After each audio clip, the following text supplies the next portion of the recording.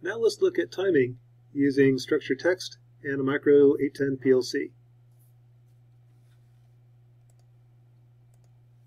Now I've got to remember this is a program that's running in an interrupt. Every interrupt, it executes the program. So one way to keep track of timing is just count how many interrupts have gone by. When I get to 1,000 interrupts, 1,000 being a nice number, I'll reset. So this is basically a ring counter. Counts to 0 to 999, repeats. When I get to 500, I'll just toggle output 2. This is a toggle command. Output 2 is not output 2. Happens once every 500 counts.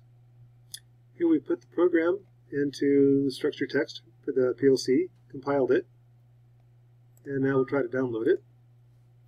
Note that, again, equals is compare, double equals is assign. Pascal is slightly different than C in that way. Running the program and going into debug mode, we're going to do a right click, show the variables, and I want to look at count. Here you can see count is counting up to 1,000. When it gets to 500, the red light toggles. This is one way to keep track of timing. Not preferred though. It depends upon the loop timing. You do have timer blocks in ladder logic. That's a better way to do it. So going through some of the timer blocks. Timer pulse. What a timer pulse does is if I hold the input pin on long enough, the output will go high. So if I have a short input pin, it ignores me. If I hold it on for 3.45 seconds, well, try that again. When I hit the input button, the output goes high and stays on for 3.45 seconds, regardless how long I hold the button. The ladder diagram for a timer pulse looks like this. When I hit button 1, the timer pulse turns on, and it stays on for 3.45 seconds. In structured text, it'd be TP in this case instance 1. Here is the input, digital input 0. Here's your preset time, 3 seconds, 456 milliseconds. Q, this is where the notation is kind of a, a little bit odd. Um, to access Q, that'd be timer pulse instance 1 dot Q. Uh, the running time isn't really needed. I'm just going to do that so you can see what's happening in debug mode. Timer pulse, instance 1, elapsed time is going to be saved in timer 1 time. This has to be a variable of type time. To input that, I'd have TP, that's a timer pulse.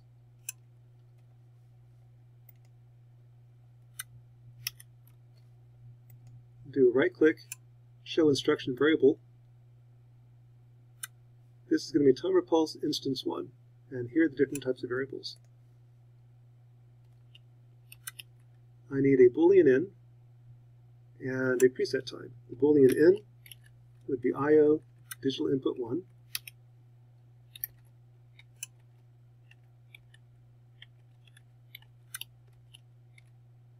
It'd be 2 seconds, 345 milliseconds. I now want to have a variable called timer 1 time We'll do a right click, show variable selector. We want to have a variable type time, somewhere time.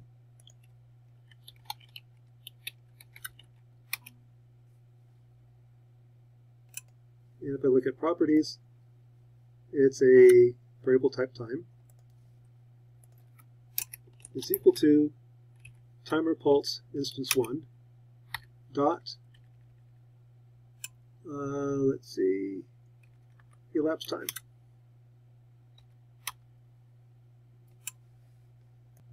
And the output goes to digital output 0.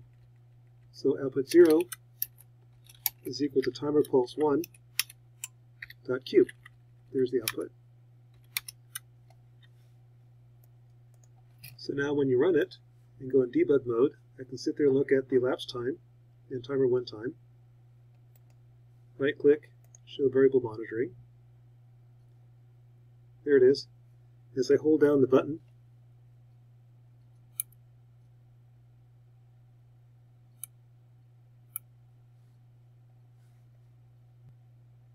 So hold down the correct button, button 1, you can see that the time is counting up to 2 seconds, 345 milliseconds, and the light stays on for that long. Quick pulse, counts to 2, 3, 4, 5. Now notice in the blocks for timer pulse, the variables that are input are passed to it. That would be the input 1 and the time. The output variables, like ET, Q, those are accessed through this dot notation. Okay, so that was a timer pulse. Next, let's look at a on timer. Here the functionality, I have to hold the button on for tn seconds. If it's held on that long, it recognizes it and will turn on the output. This is to avoid accidentally bumping the button and having it recognize it. You have to hold it on for to re realize it. In ladder diagrams, that's expressed as follows. Sorry, I don't my word processor there. In a ladder diagram, it looks like this. When input 2 is pressed, um, the output will turn on if it's held on for 4 seconds. In structured text, that would be timer on, instance 1. Here's the input, digital input 2, 3, one of those. If it's held on for 4 seconds, then Q turns high, and that's saved as output 0. And the elapsed time is saved as timer 1 time. Okay, magically, I just changed the numbers to match the diagram. Input 2 drives output 1 after 4 seconds. That's input. If I type in T on, right click, I'll do T on instance 1.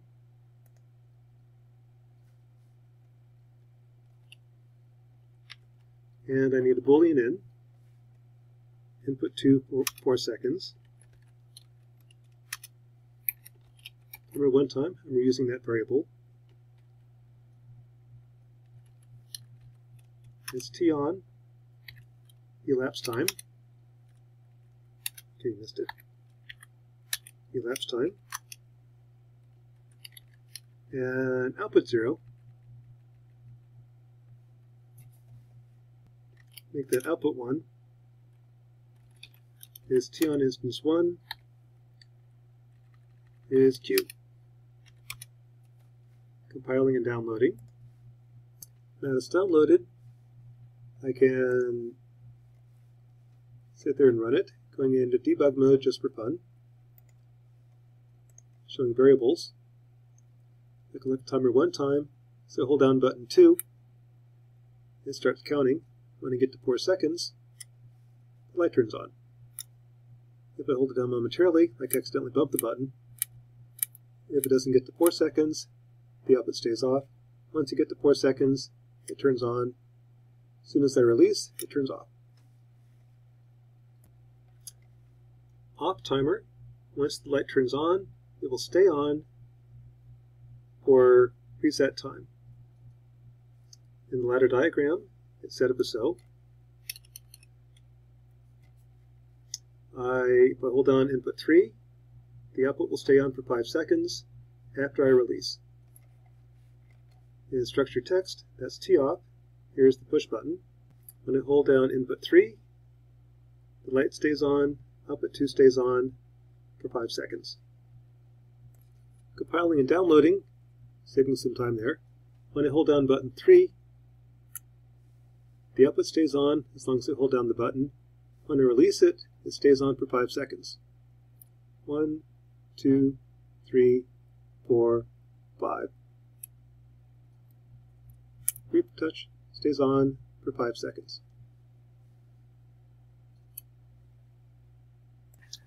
So with timers, you can toggle an output fairly easily. For example, suppose I want to toggle the yellow light every 2 seconds. With a ladder diagram, that'd be the following. I'd use an on block where the output clears the clock every 2 seconds.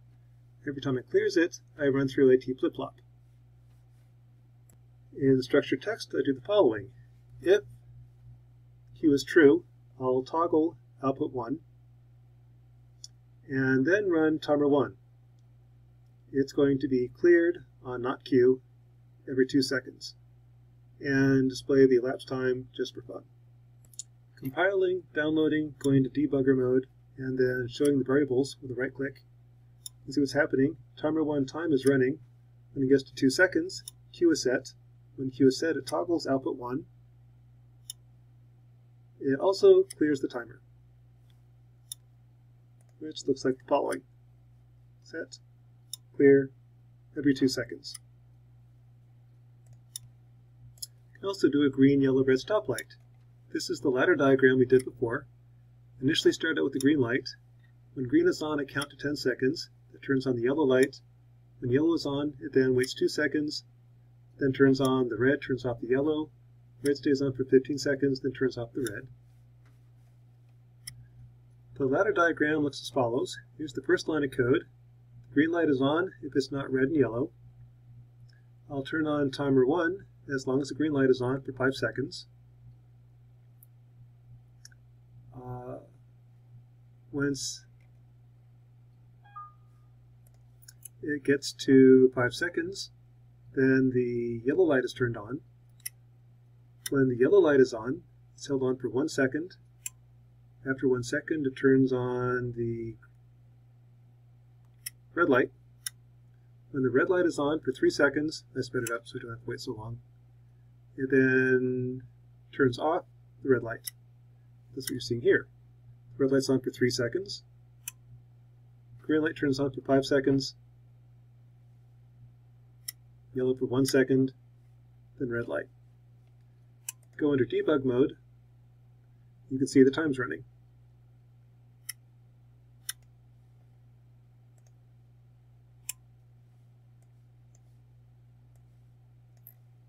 So there's the times.